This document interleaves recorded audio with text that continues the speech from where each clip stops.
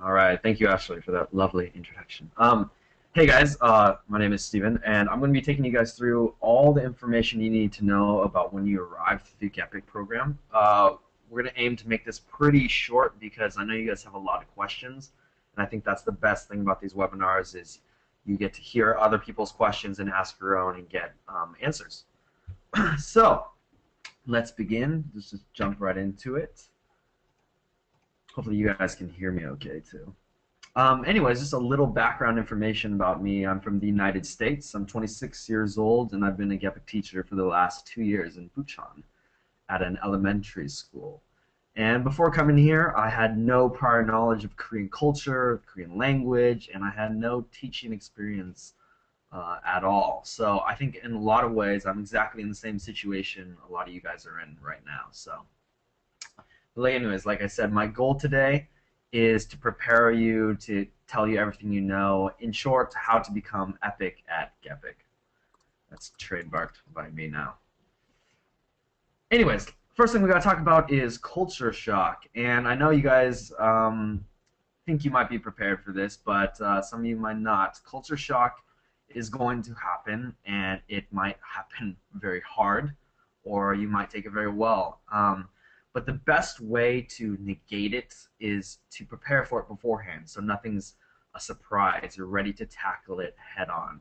So let's show you what uh, I'm going to show you. You know things you need to expect a little bit. Um, first principle: remember you will be traveling to a different country. I know Korea is economically on the same level as you know the country you're in now. It's got a big tech industry and everything looks really nice in pictures, right? But it grew up on a completely different continent than us across the ocean, isolated for thousands of years, and it's a lot different actually. Um, you have to remember, your favorite food, you know, won't necessarily be here. I was really bummed that there's no ranch dressing, but you know, it's Korea. I want to. If I was going to Uganda for a year to teach English, I don't think I could really be angry that there's not ranch dressing, right?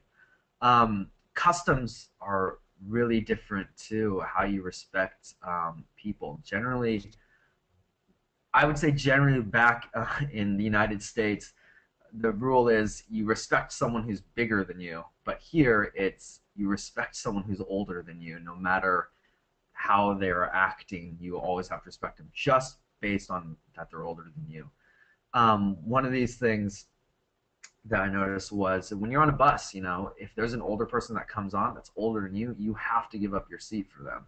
So you can't just uh, be that guy and pretend you're asleep. You're supposed to stand up. But um, another thing that wasn't related to age, but kind of Korean culture was when I came here, I did the very, you know, I opened uh, the door for people and I would hold it open and they would look at me strange and no one said thank you uh, in Korean or in English. Um, so I was like, oh, these guys are rude. But then, you know, I talked to some Koreans about it. They're like, no, we just don't do that. You know, it's kind of weird if you do that. So um, be prepared for things like that. Customs are going to be different. Um, things may cost more. Yeah. Um, if you want to continue trying to eat the same stuff you're eating right now, it's all going to be imported. And I had um, I eat Quaker oatmeal for breakfast every day, and here it's about twenty-four dollars for a canister, which is really expensive.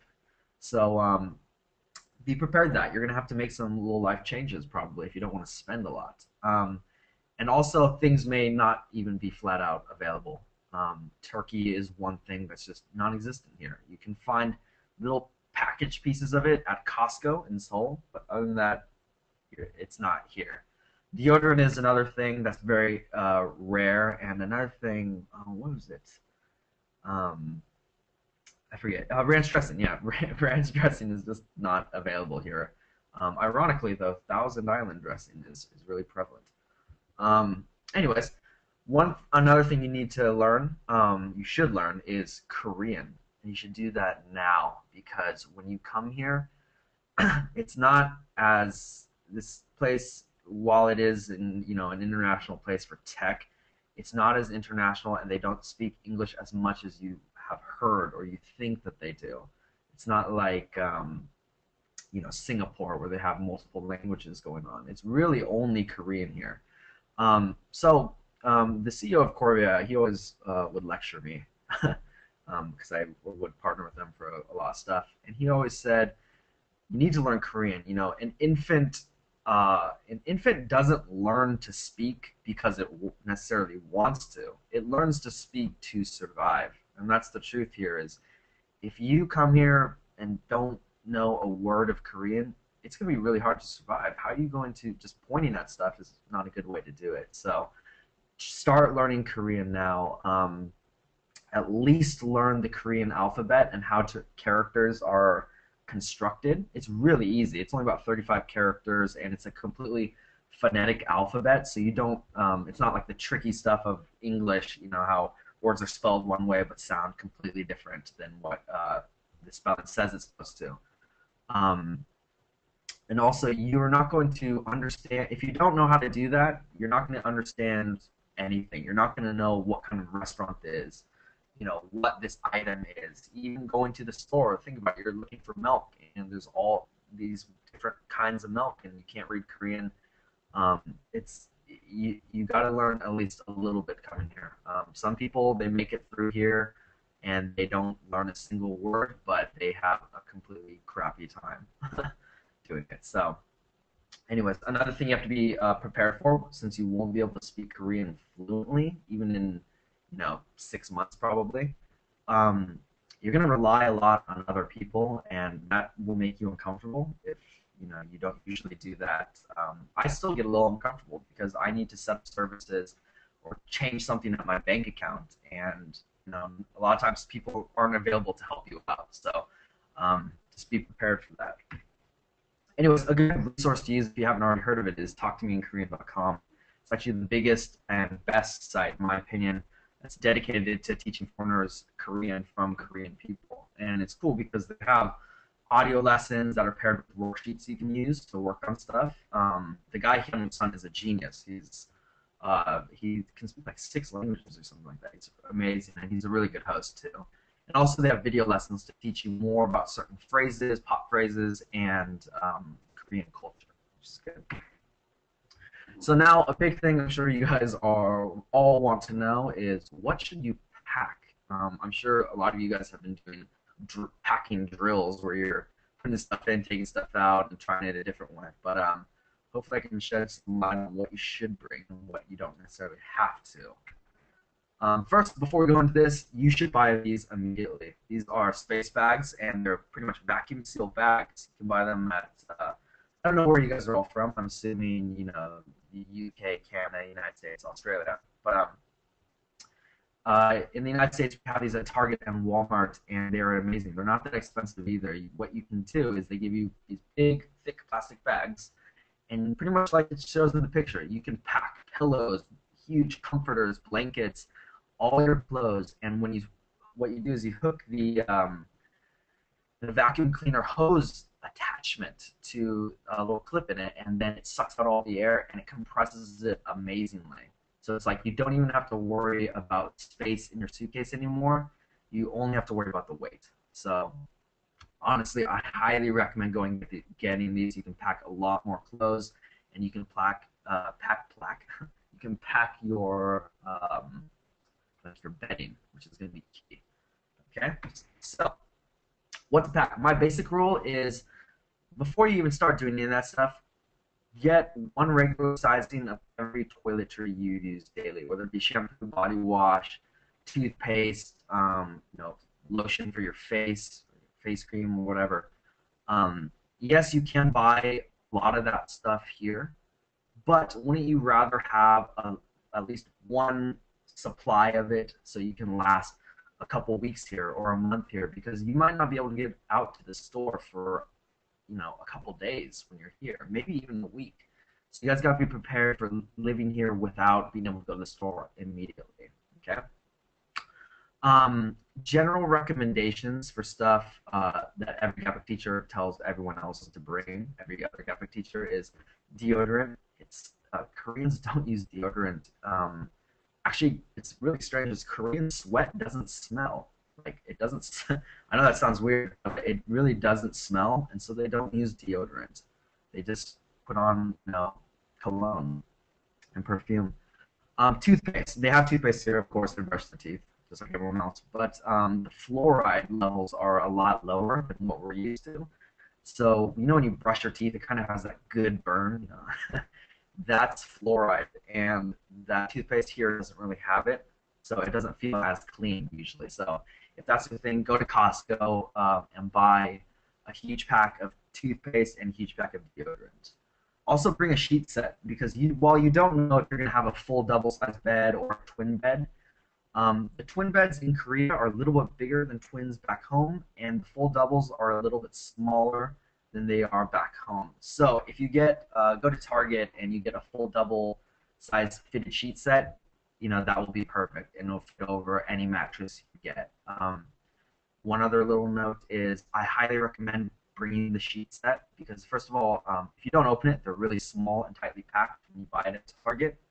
But also here, um, the sheets just aren't soft. I don't know.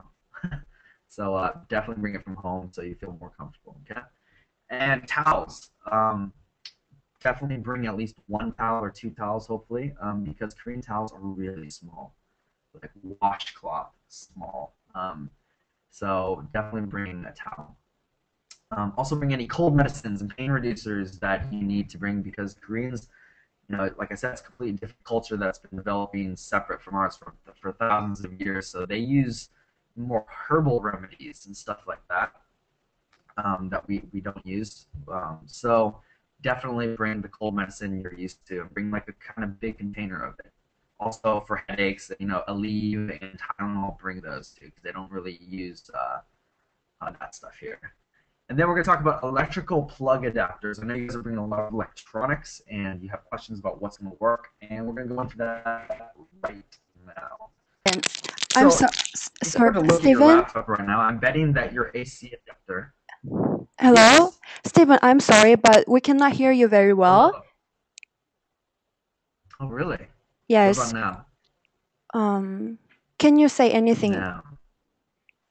Yeah, let me count to ten. One, two, three, four, five, six, seven, eight, nine, ten. Is that Uh, okay?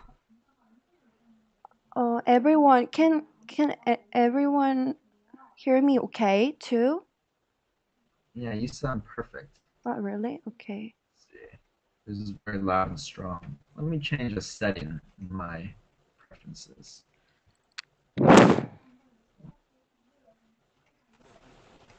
What about now? Can you hear me? One, two, three, four, five, six, seven, eight, Can you go nine, ten. closer to your microphone? What about now? Can you hear me?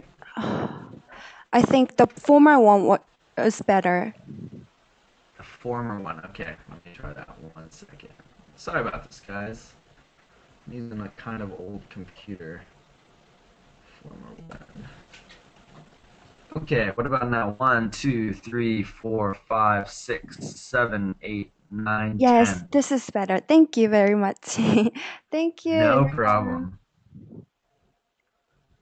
God, good thing she said that, or you know, I'd just be talking to myself, right? Um, anyway, so we're going to talk about AC adapters. Um, if you were to look at what's plugged into your laptop right now, you're probably going to see something like this. Um, it's an AC adapter, and it has um, it's a little box with two cables or two cords coming out either side. One goes into your laptop or your electronics device, and the other one can be taken out and um, uh, removed, I should say, and is plugged into the wall.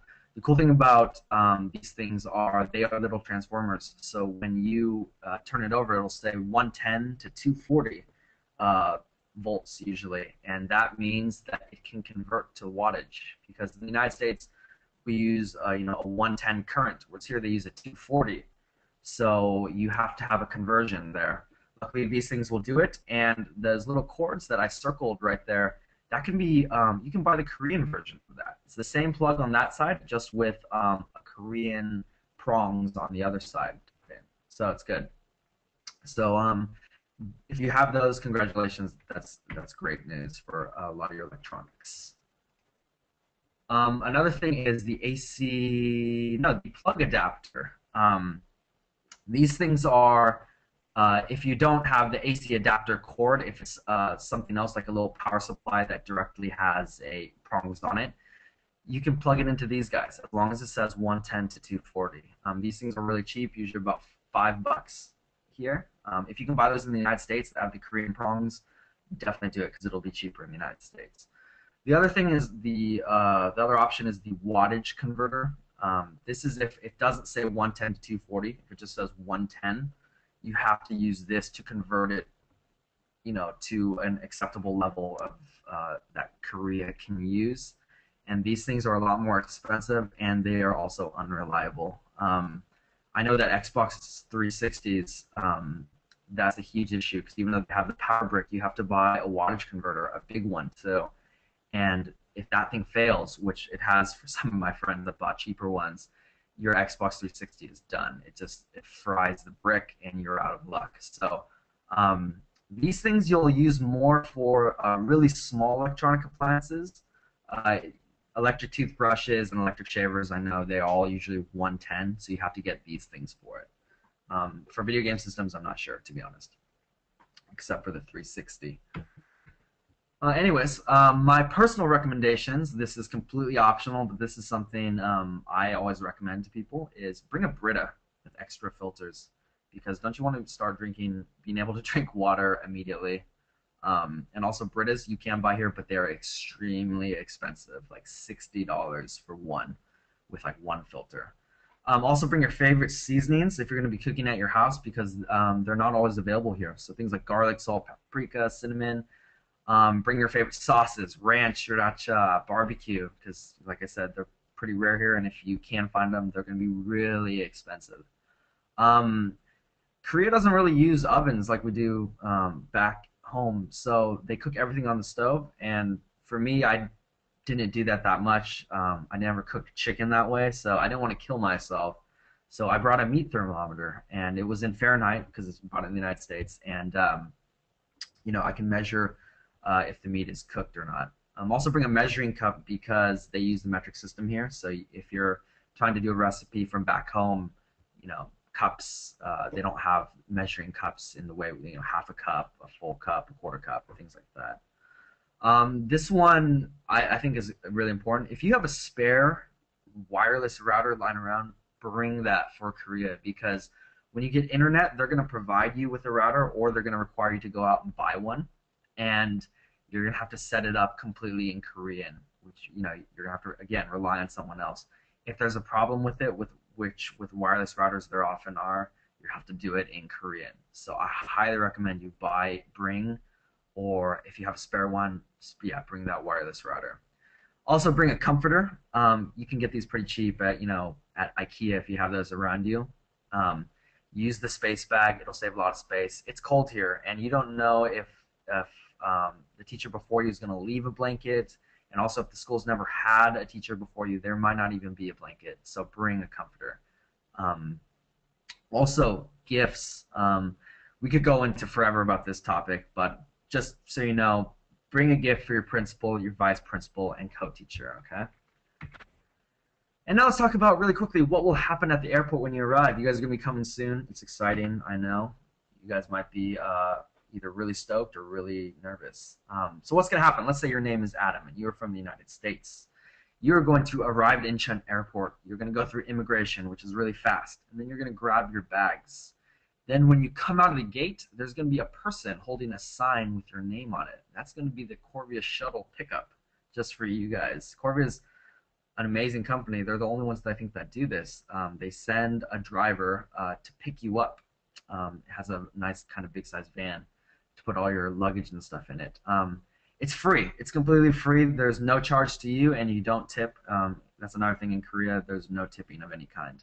So um, you don't have to tip. It's completely free. It's great.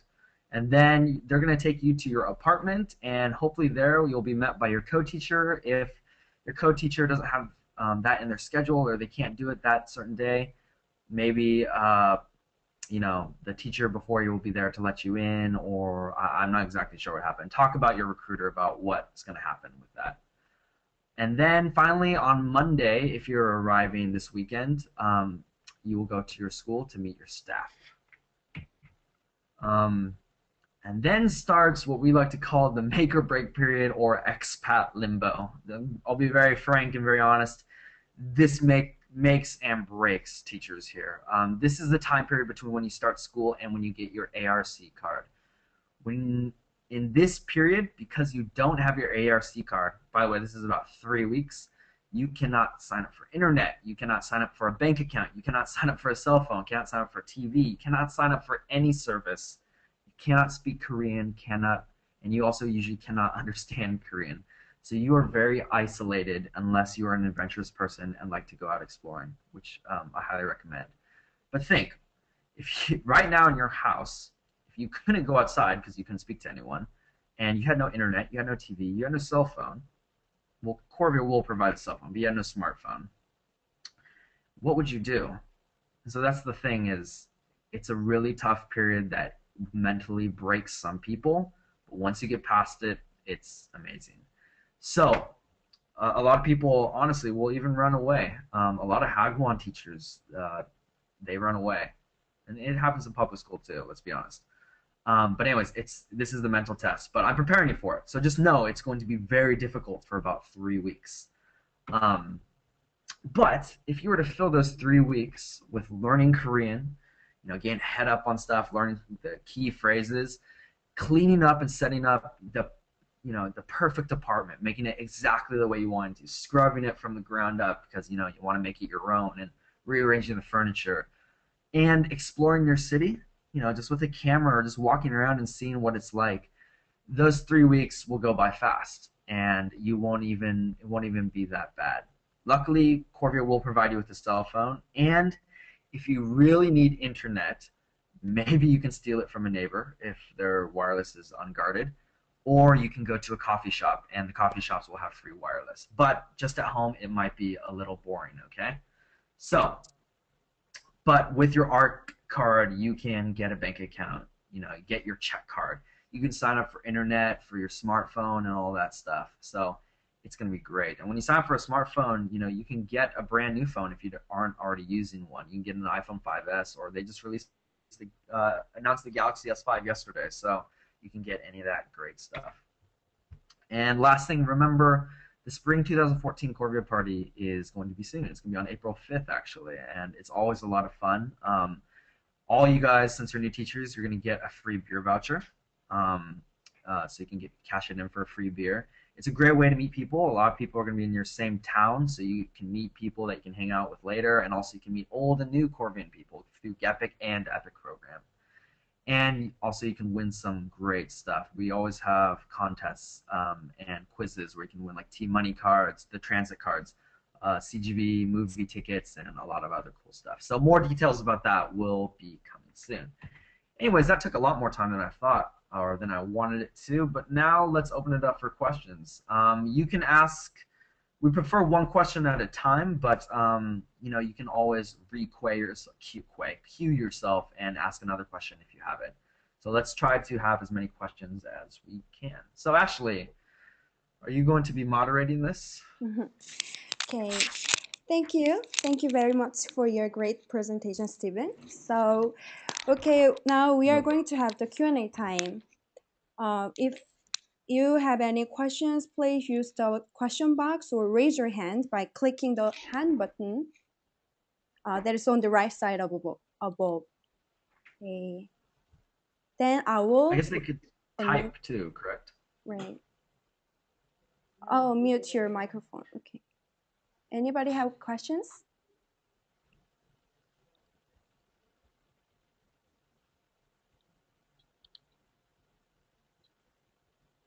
Um, okay, we got a question from Malinda, and she asked, okay. "How was your first official day of teaching?" First official day. Uh, I remember it like it was yesterday. Uh, uh, the first day you actually go to school, you won't be teaching. Um, the first day is what they call like ceremony day, and all single subject teachers um, don't teach. So music, English, you know, science. So you won't be doing, um, you won't be teaching that day. You'll just be figuring out your schedule, uh, seeing the book you're going to use, um, what grades you're going to teach, and how you're going to work on stuff with your co-teacher. The first actual teaching day for me it was just um, introduction. So make sure you make a introductory PowerPoint about yourself with lots of pictures. Um, remember, the you know, this is elementary school for most of you. They're not going to understand anything you're saying, so you have to show them. So, how, you know, show, you know, where you're from, about your family, what are your hobbies, and show a picture of your house. They love these kids love pictures of your house because it's like gigantic to them. So, um, yeah, definitely make a PowerPoint about yourself. Okay, next question is from Melia. When is the best time to give gifts to your co-teacher, vice principal, and principal? If you are, if you're meeting your co-teacher at your um, accommodation that first day or the second day or whatever, um, give it to that person then. For your principal and vice principal, the first day before you are teaching. Um, I did that, and honestly, giving gifts changed my complete time here because some people, if you go to other groups, they will say it's not necessary or, you know, it's more traditional to bring a gift um, the month, you know, after one month, after you get your first paycheck. But the point of this is, most likely your principal and vice principal won't be able to speak English. And so you just want to have a gesture of goodwill from the beginning. Make them like you. You know, everyone likes a gift, right? Like, if you give it to them uh, right when you first meet them, present them with it, they'll just have a good feeling about you. Um, and so it really helps, especially in the case of, you know, the last teacher before you at your school sucked, you know? So um, definitely do it the first day that you get there. Just bring them in your bag and make sure to wrap them. Don't just you know, whip out a huge bottle of, of wine or something like that. Um, have it packaged so it's more modest, okay? Otherwise, it might look like a bribe if you just gave them this huge thing. Uh, okay, another question is from Nikki, and she's um, asking about her smartphone. So, if we already Mm-hmm. have a smartphone and we get it unlocked, will we be Mm-hmm. available to use it with the Korean SIM card? That is a very tricky question, and the answer is yes and no. Um, what you need to do is, if it is unlocked, you need to go to the place and act and ask them if they know if it'll work in Korea, because Korea uses um, a different band. Um, it's really hard to explain what a band is, like a different frequency for calls. Um, but yes, generally, if it is unlocked, you can get a SIM card for here. Just make sure you do a lot of research on the internet and you do it with your provider back home. I know they don't like to unlock phones, but um, yeah, my friend, if it's the Galaxy S3 and above, or if it's an iPhone, usually you can do it. But even if you um, even if you can't, still bring your cell phone or your smartphone because you can use the Wi-Fi in the subways. The subways all have Wi-Fi and in coffee shops. Um, so Right. it, it'll be good. Okay. Next question from Keegan. I have a question about the indoor slippers for school. Are there are they are they sorry are they regular house slippers? Also, are they easy to buy in Korea for those with larger shoe size? Oh, you know, I wish I could show those, but they're at yeah, they're at school. Um, don't bring them from home. They don't really have. I've never seen them before from back in the United States. They're here. They're really cheap, like eight dollars, and they're just. It's just like a, a, a kind of a slipper that's used with a, a sandal. It's kind of weird, but um, yeah, don't worry about that. Your first night or when you go to the store, just go pick some up, and uh, yeah, you're supposed to only wear that inside uh, the school, so it keeps it cleaner. Okay. Can you hear me okay, by the way? Ashley? Yes, we can hear you clearly. Okay, before we, I read another question, Keegan raised her hand, so I'll unmute her. Okay. Hello, Keegan. Sorry, I was, the second part of the question was um, I have pretty large feet. Like I wear a size 11, and so my question is kind of like, am I gonna be able to find the size slippers like they're gonna fit my feet in Korea? They are unisex. These slippers are unisex. I mean, I guess if you're going with a standard color like black. Um, if if you are worried, those are pretty large feet, Keegan. I'm not gonna lie.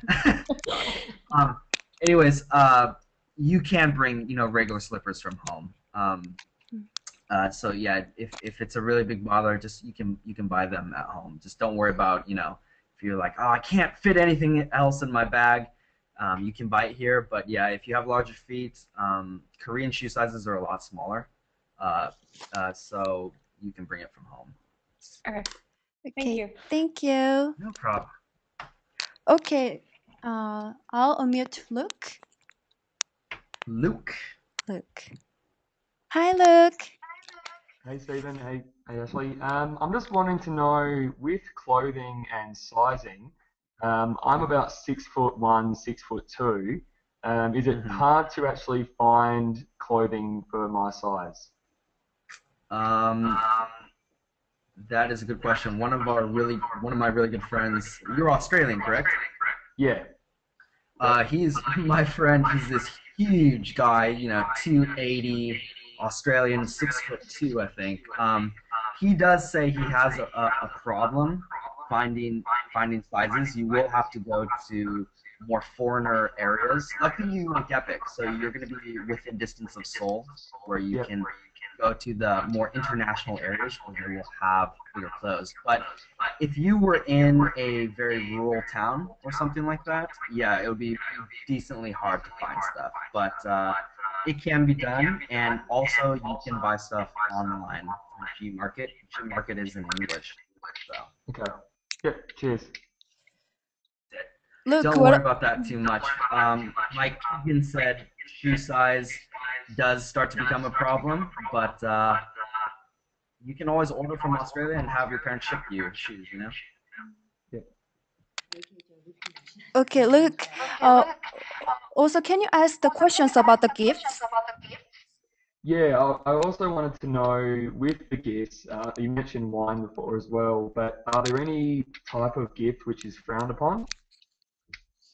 Yes, it is deemed too expensive. I actually, um, I remember before the second time I came here, um, my vice principal, he was, he really loved alcohol, like to an unhealthy degree.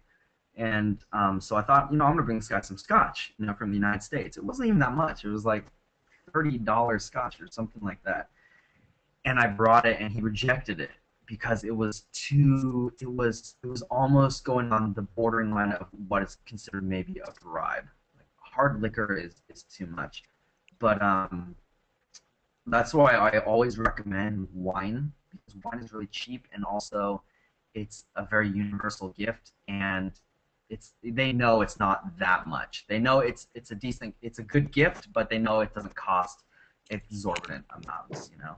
Mm. So um, stay away from that. Um, also, oh, oh, great. This is this is for Luke, correct?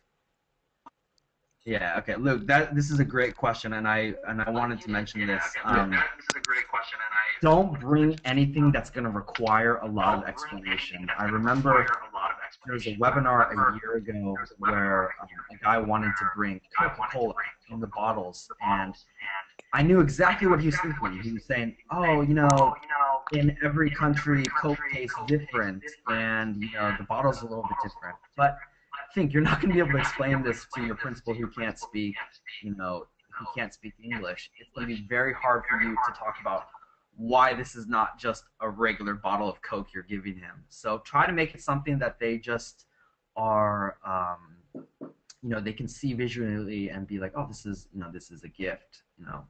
Um, my rule of thumb is if you wouldn't give it to someone in the United States, don't give it here. Like some people always bring, um, what is it like, honey, and I think that's a kind of a strange gift unless it was in a really cool, crafty jar. But if it was just a bottle of two dollar honey from the supermarket, you know, you want to give that to someone back home. So don't give it here. I hope that made it a little bit more clear. I hope that made it a little bit more clear. Yeah, that was great. Cheers. Oh, no problem, man. No problem. Unmuted. Okay. Any other questions? Spit them out. Yeah. it's your last chance, right?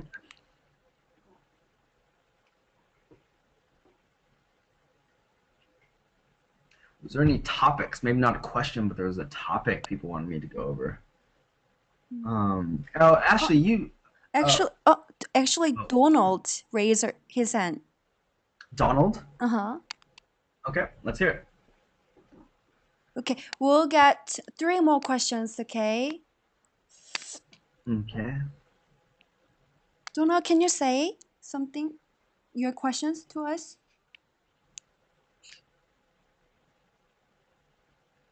Donald? Oh, okay, there we go. Is it working? Yes. Yeah, Donald, we can hear you great.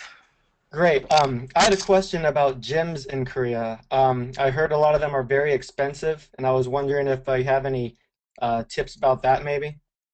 Uh, Donald, who's your recruiter? Uh, Ashley. Ashley. Okay, there's a great article that a friend of mine wrote on this. It was a very lengthy thing about gyms in Korea. I'll send it to you. It's got all the information about the pricing, what you wear, the sizes, um, what not to do. Um, I can actually post it. I'll post post it on the Korvia GEPIK group. Um, All right, thank you. yeah, generally they are more set expensive than back home in the United States or Canada, and they're also a lot smaller. So uh, be prepared for that. But uh, it's good that you want to keep you know physical fitness going. That's awesome. All right, well, thank you. And no problem. Okay, we got another question from Deborah, and she is talk asking, how is it working with your co-teacher? Uh, that's a good question. Um, this is going to be a relationship that is going to take a lot of work. I know you guys are coming here and thinking the focus is going to be completely. This is off the record. Like I'm saying this from my own point of view. Um, you're thinking that the uh, focus is just on the students. That is not correct. The focus is going to be on the relationships with people at your school. You have to work your ass off to get on your co-teacher's best side, you know, and make sure you guys have a great relationship to where you guys are working effectively together. Um, also, it is a little bit of a political game of who you need to, you know, respect everyone, but there are more important people at your school, your principal, vice principal, your head teacher. You have to go in there thinking it's not that you're going to be kissing butt, it's that you need to you know, show them that you're a hardworking person, and if, when they start to like you, your life is great. Whenever your school and your co-teacher, you're getting along with your co-teacher, life is perfect. It's amazing. Your co-teacher will be down to you know help you out more, like take you to the bank to do this stuff, and you know your principal might let you take a few days just randomly off. That should be your main focus for the first month, is making those relationships with people perfect always when you see another teacher, bow to them and say 안녕하세요. Like, don't say in English. S- Try to make an effort to um, speak Korean to them. Even if you can't understand it, just try to say it to them respect in the most respectful manner. Bow to them um, and just have a smile. Like, that's another cu- cultural thing. Is in Korea, no one really smiles that much. So, um, yeah, in in review, your first month that's relationship time. Try to make the best relationship possible with your co-teacher. Do anything you can for them. Say, you know, I'm here for you. I'm here to help you out. When it that's the correct order of power. You are below your co-teacher right now. It's you're not equals. Um, in Korean system, you're brand new to the school, so actually you're starting out at the bottom. Just you know, act like you are there for them to assist them. They'll appreciate it a lot. They will love you, and your life will be amazing. But if you go there and the co-teacher's a little bit bitter at first, just keep working at it, keep working at it, keep working at it, you know, because it will get better and, you know, your life will get better. So it was a very long answer. Okay, so uh, because of the time limitation, we'll get just one more question from Luke. Okay. Um, okay, so I'll unmute Luke. And please ask your question. Unmuted. Thanks, Ashley. Um, I was just wanting to know uh, what the role, I guess, of the co-teacher will be in like once you've got through that first month of trying to form a relationship, um, like how much uh, input they'll have in the classroom itself. And I was also wanting to know uh, what what the um, best sort of teaching resources you found to be are. Okay, so the first question is, um, actually, can you mute Luke for a second? I'm getting like a lot of, uh, uh, what do you call it, echo. Um, the first question was about uh, what's the role of a co-teacher. The, the tricky thing is the word co you think means 50-50, but actually you have to let the co-teacher choose the policies, all the policies, unless they ask you specifically for what you think and what you should do, because you know they they know Korean students better than us. You know they've been teaching for a long time, so let them make all the disciplinary rules. Let them say how you're going to use the book, if we're going to play this many games, if you're going to play games at all um, let them make those decisions. If they ask for you, uh, for your opinion, then you can slip it in and say, hey, well, you know, I found this game. Let me show you. Always show them um, what you're going to do because if you're just explaining it, like I said, there is a little bit of a language barrier. They might not fully understand what your aims or your goals through using this uh, particular method are.